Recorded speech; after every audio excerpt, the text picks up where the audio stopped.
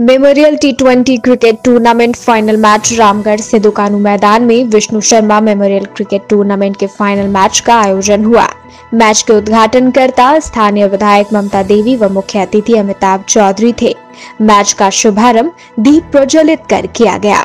Final match सौदा, भुरकुंडा, बनाम, रामगढ़ के बीच खेला गया, जिसमें रामगढ़ की टीम पहले बल्लेबाजी करते हुए पंचानवे रन बनाए।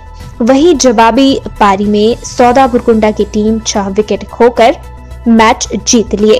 विजेता टीम को बड़े ट्रॉफी व विजेता टीम को छोटे ट्रॉफी कर पुरस्कृत किया गया। विधायक ममता देवी ने कहा कि क्रिकेट अनिश्चितता का खेल है। खेल में हार जीत लगा रहता है। खिलाड़ियों को ईमानदारी से खेल खेलना चाहिए। साथ ही साथ महेंद्र मुंडा ने भी अपनी बात रखी। रामगढ़ से संवाददाता मोहम्मद शाहिद व अयूब की रिपोर्ट। जो Vishnu Sharma memorial T twenty cricket tournament था वो इक्कीस तारीख से शुरू हुआ, सोलह टीमें भाग ली और सभी ने अपना उमदा प्रदर्शन किया। और इसमें रामगढ़ के प्रमुख लोग और खेल प्रेमियों का बहुत ही सहयोग रहा।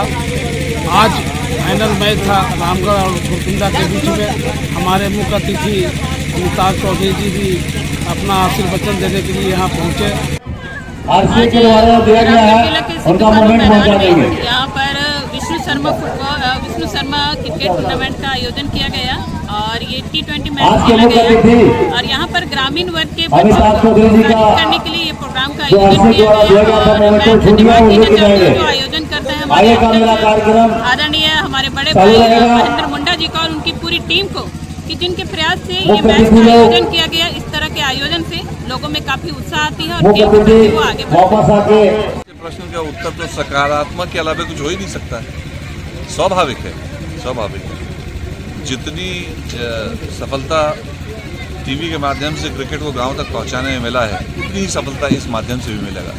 इसलिए मैं सबका शुक्रगुजार हूँ कि आपने आकर इतना प्रोत्साहित किया ग्रामीण लड़कों को। और जैसा आपको मालूम है और जैसा जैसा प्रमाणित हुआ है, सभी जिस, सभी इंसानों का जिनका जन्म इस पृथ्वी पर होता है, सब बराबर है। सब बराबर के प्रतिभा के हैं और उसमें से कोई भी देश के लिए खेल सकता है। बहुत शुक्रिया।